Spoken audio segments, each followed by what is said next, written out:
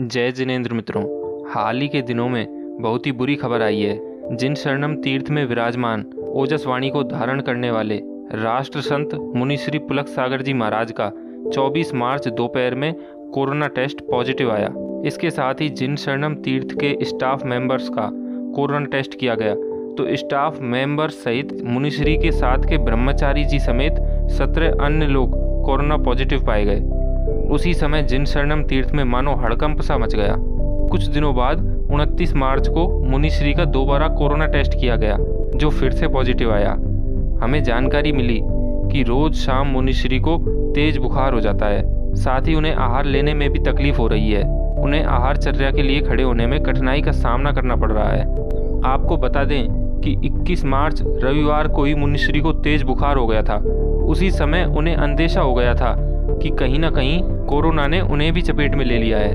उन्होंने उसी समय पब्लिक से अपील की और कोरोना की सेकेंड वेव के बारे में चिताया।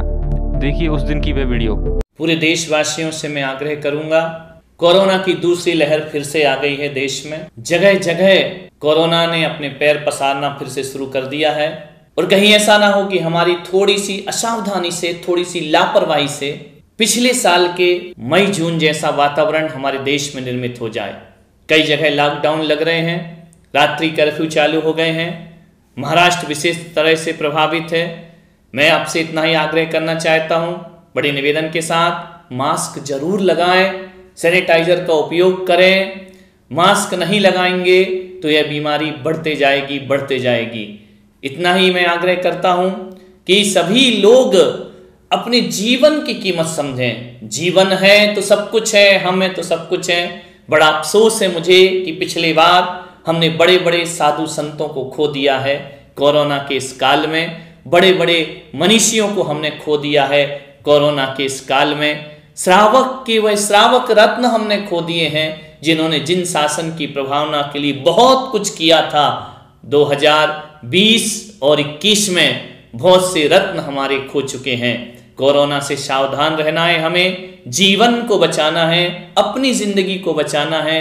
दो गज दूरी ज़रूर रखें, मास्क लगाएँ और सैनिटाइज होने का प्रयास करें। इसके अलावा हमारे पास कोई उपाय नहीं है इस महामारी को रोकने का।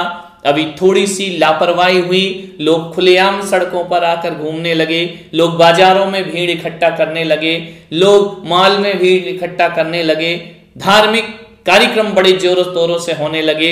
बस उसका दुष्परिणाम, दूसरी लहर ने अपना आक्रमण शुरू कर दिया है हमारे देश में। सावधान हो जाइए, अपने आप को सावचेत रखिए, अपना विशेष ध्यान रखिए, अपनी ज़िंदगी का ध्यान रखिए।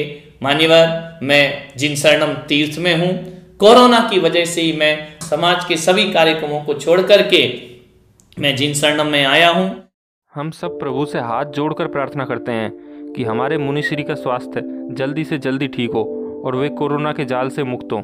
इस वीडियो को देखने के लिए धन्यवाद।